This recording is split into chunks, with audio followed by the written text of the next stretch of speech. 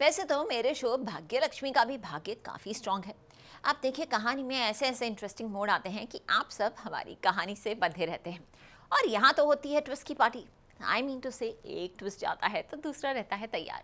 तभी तो है यहाँ आपके लिए भरपूर एंटरटेनमेंट तो चलिए फिर दिखाते हैं आपको कहानी का अपडेट लेकर चलते हैं आपको फटाफट भाग्य लक्ष्मी के सेट पर।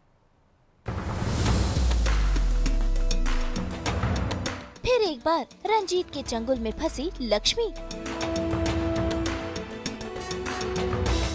फिर पहुँचा ऋषि बनकर रक्षक।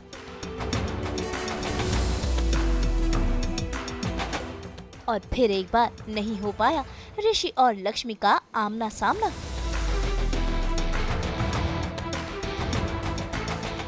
जी टीवी के सीरियल भाग्य लक्ष्मी में आ रहे हैं नए नए ट्विस्ट।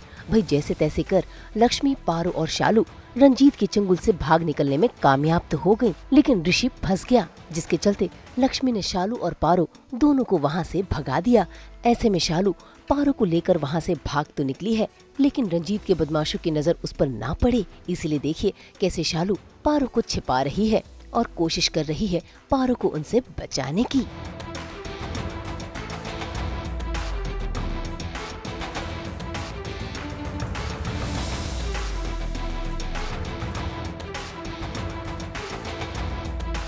पारो तो अभी बच के मेरे चंगुल से निकल चुकी है। पारो को जो मेरे दो नालायक सेंटर पंटर थे, वो उन्होंने छोड़ दिया है, वो कुछ नहीं कर पा रहे हैं। तो पारो तो अभी मेरे हाथ से निकल गया बस लक्ष्मी मेरे हाथ में बची है। तो मैं वैसे ही बरकरार रखना चाहता हूँ ताकि लक्ष्मी मेरे पास ज़रूर रहे।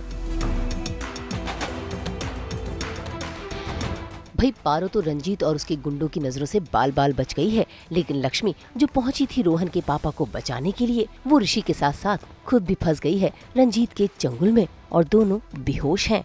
ऐसा बिल्कुल आगे आपको देखने को मिल सकता है, क्योंकि लक्ष्मी तो अभी ऋषि के पास गई नहीं है, और मैं लक्ष्मी को इतनी आसानी से जाने दूँगा नहीं तो दोबारा ऋषि और रंजीत आमने सामने लड़ सकते हैं। नहीं, रंजीत को ये बिल्कुल भी आइडिया नहीं है। लेकिन रंजीत को ये पता है कि इनके बीच में कुछ तो ऐसा कनेक्शन है, कि हर बार वक्त पे इसे टाइम पे बचाने आ जाता है। पारो किसी मुश्किल में होती है तो पारो को बचाने आ जाता है।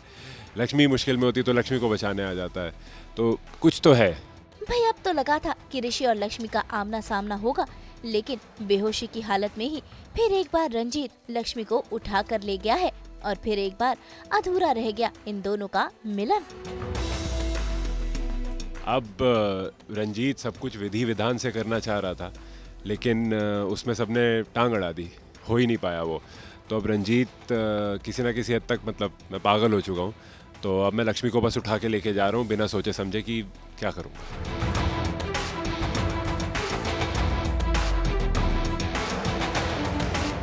भाई, लक्ष्मी के लिए दीवानगी तो रंजीत के सर चढ़कर बोल रही है। वो तो अब जिद पे आ गया है कि वो लक्ष्मी से ब्याह रचा कर रहेगा। देखना होगा कि क्या ऋषि फिर से पहुंचेगा लक्ष्मी को बचाने के लिए। क्या तब होगा ऋषि और लक्ष्मी का आमना सामना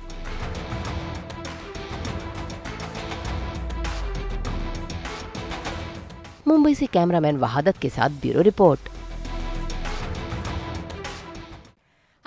हैं आपके साथ 24/7 एंटरटेनमेंट वाली पार्टी। तो अगर आपको ये वीडियो पसंद आया है, आप इसे लाइक करें कमेंट देके अपनी राय ज़रूर दें। और हाँ अगर आपको ये वीडियो पसंद आया है तो प्लीज़ इसे शेयर ज़रूर करें। और इसके साथ साथ हमारे चैनल को सब्सक्राइब भी करें। अगर आप यही वीडियो फेसबुक पर देख रहे हैं तो हमारे फेसबुक पेज को फॉलो ज़रूर करें। नाम तो आप सब जानते ही हैं, सास, बहू और बेटियाँ। और हाँ साथ ही साथ हमें फॉलो करें इंस्टाग्राम पर भी।